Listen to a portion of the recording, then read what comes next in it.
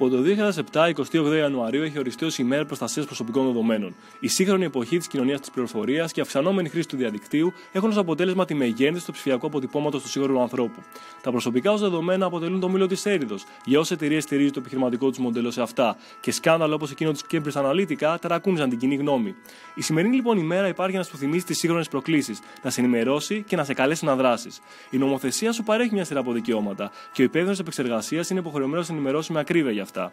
Για να τα ασκήσεις, θα πρέπει να υποβάλεις το αντίστοιχο έτοιμο προς αυτόν και εκείνος θα έχει στη διάθεσή του από έναν έως τρεις μήνες για να σου απαντήσει. Εάν θεωρείς ότι τα δικαιώματά σου έχουν παραβιαστεί, μπορείς να υποβάλεις καταγγελία προς την αρμόδια αρχή. Εκείνη δεν μπορεί να σου επιδικάσει κάποια αποζημίωση, αλλά μπορεί να υποβάλει τσουχτερά πρόστιμα.